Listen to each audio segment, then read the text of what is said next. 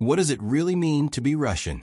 For generations, the image of the Russian people has often been tied to a singular identity, Slavic roots, Orthodox Christianity, and centuries of shared history.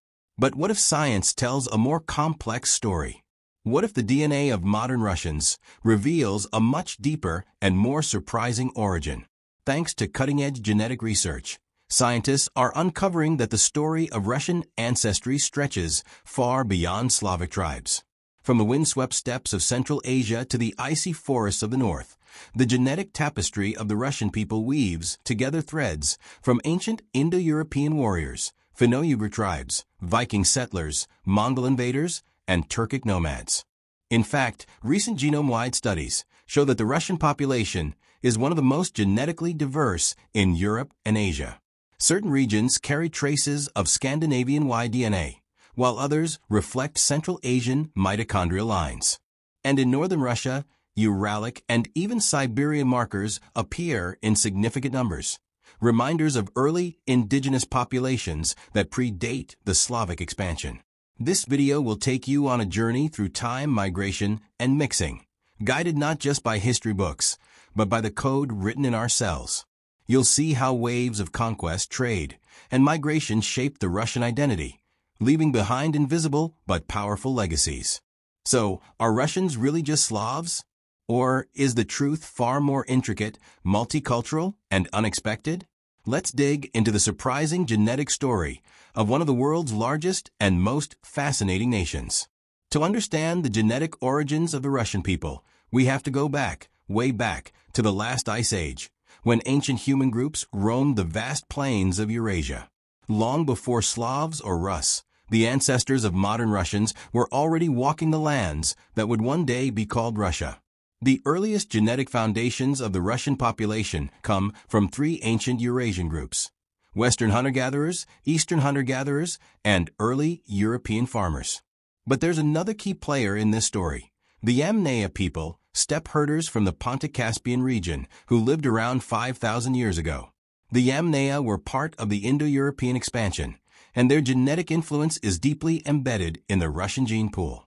They brought with them the R1AY haplogroup, which remains one of the most common paternal lineages in Russia today.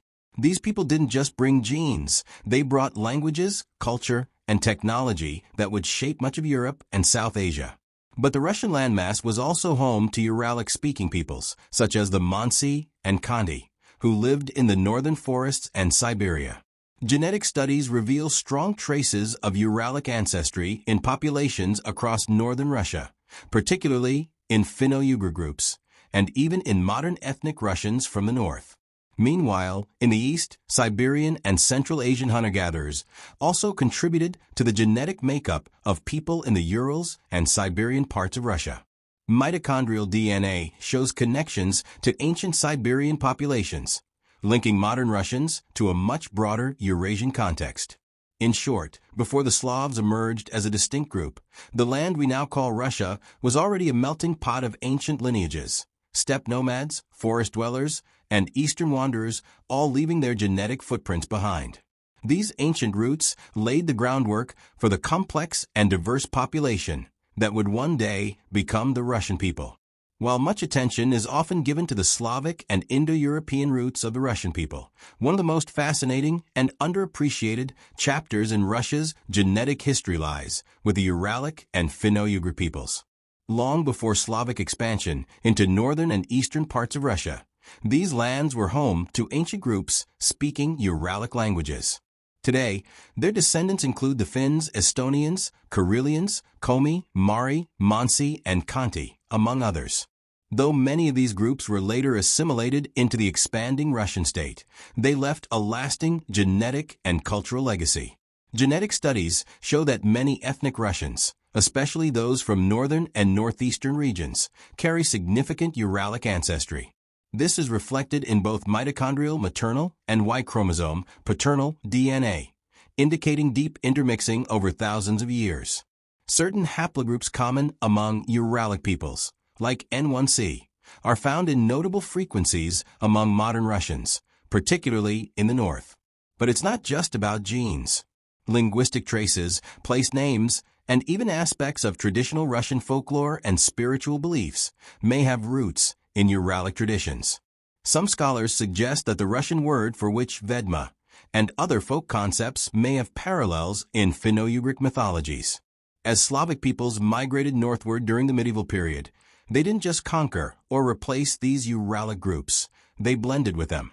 Over time, many Uralic communities adopted Slavic languages and Orthodox Christianity, becoming part of the broader Russian identity, but their genetic fingerprints remain. Today, the Uralic influence is an essential part of Russia's diverse human tapestry. It reminds us that Russia is not just a Slavic nation. It's also deeply connected to the ancient forest peoples who once thrived in its vast cold landscapes.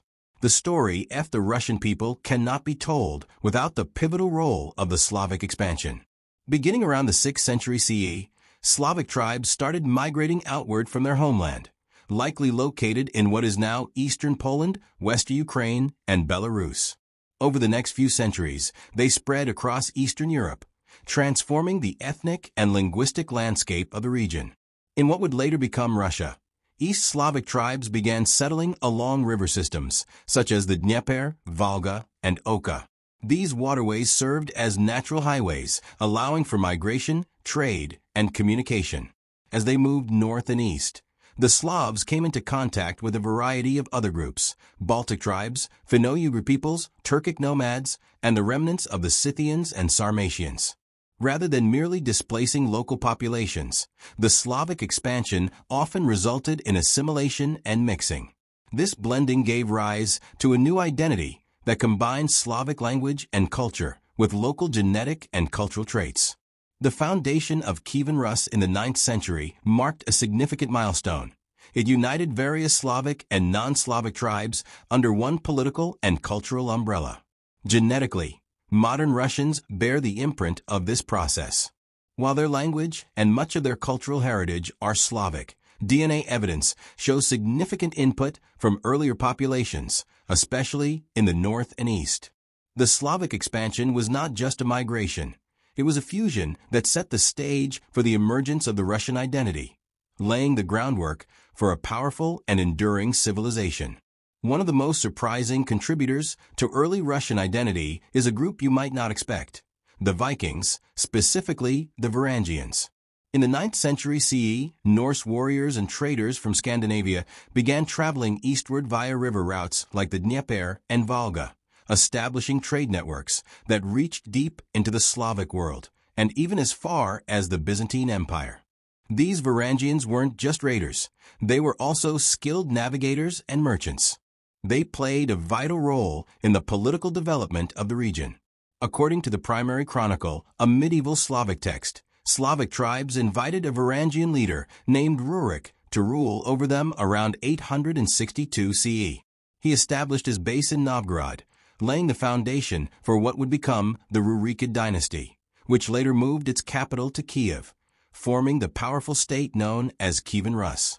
Genetic studies of early medieval remains in Western Russia and Ukraine reveal Scandinavian Y-DNA markers, confirming the presence of Norsemen among Slavic populations. These Vikings didn't remain separate for long. They intermarried with local Slavic and Finnic women, gradually becoming part of the region's genetic and cultural fabric. The Varangian influence extended beyond politics. They helped establish early trade routes, shaped military organization, and even contributed Norse words to the evolving East Slavic language. Over time, they were absorbed into the broader Slavic identity, but their legacy still echoes in Russian history and genes. The Viking connection highlights the multicultural foundations of what would later become the Russian people. One of the most dramatic chapters in Russian history, and one that left a lasting genetic imprint, was the arrival of the Mongols in the 13th century. In 1237, the armies of Genghis Khan's descendants swept through the Russian principalities, establishing the Golden Horde, a powerful Mongol Khanate that ruled much of Russia for over two centuries. During this time, Mongol rulers intermarried with local elites, imposed tribute systems, and maintained political dominance. Although the Mongols did not settle in massive numbers, their genetic legacy can still be detected today, particularly in Y chromosome markers associated with Central Asian steppe populations. Studies show trace elements of East Asian and Mongolic ancestry in some Russian and Tatar populations, especially in the Volga and southern Siberian regions. Even more influential were the Turkic peoples, who had long lived on the Eurasian steppe before and after the Mongol conquests. Groups like the Tatars, Bashkirs, and Chuvash interacted extensively with Slavic populations through trade, conflict, and intermarriage. Many modern Russians, especially those in the Volga-Ural region, carry Turkic genetic signatures, blending Slavic and steppe ancestry. Culturally and genetically, Turkic and Mongol influences helped shape a more diverse and complex Russian identity, from language borrowings to military structure. Their impact extended well beyond DNA. The Mongol and Turkic layers remind us that the Russian people emerged not from a single ethnic source, but from centuries of contact, conquest, and coexistence across the vast Eurasian frontier. With the rise of modern genetics, scientists have begun to decode the complex ancestry of Russians, and the findings are full of surprises. Studies using mitochondrial DNA tracing maternal lines and Y chromosome DNA paternal lines reveal that modern Russians are not a homogeneous group, but a genetic mosaic.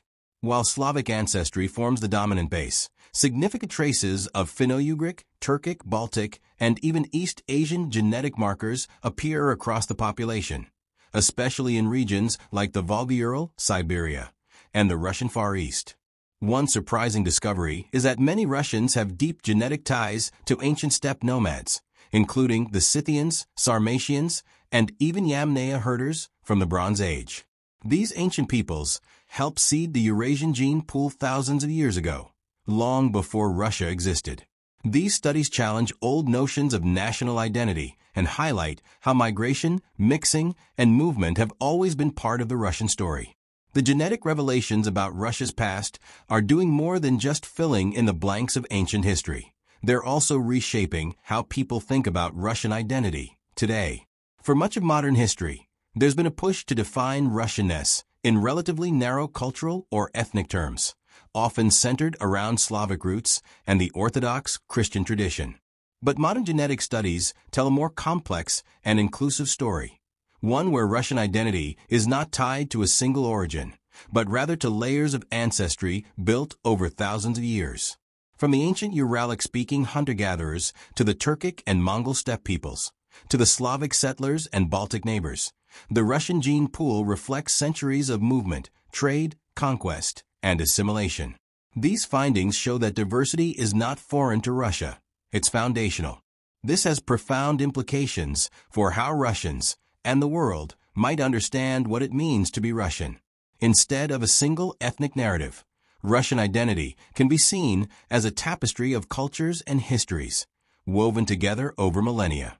It also helps explain why different regions of Russia vary so much in language, culture, and even physical appearance. In a time when national identity can often be weaponized or oversimplified, the genetic record serves as a reminder. Identity is dynamic, not static.